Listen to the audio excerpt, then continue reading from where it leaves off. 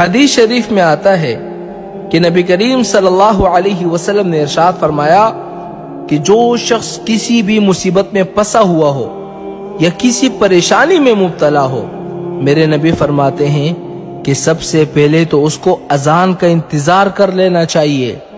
دوسرا، جب اذان ہو رہی ہو تو اس اذان کا جواب دے اور تیسرا، میرے نبی فرماتے ہیں کہ جب اذان ختم ہو جائے میرے نبی فرماتے ہیں کہ میں تمہیں ایک ایسی دعا سکھلاتا ہوں، اذان ختم ہونے کے بعد وہ دعا جب تم پڑھ لو گے اور اس دعا کے پڑھنے کے بعد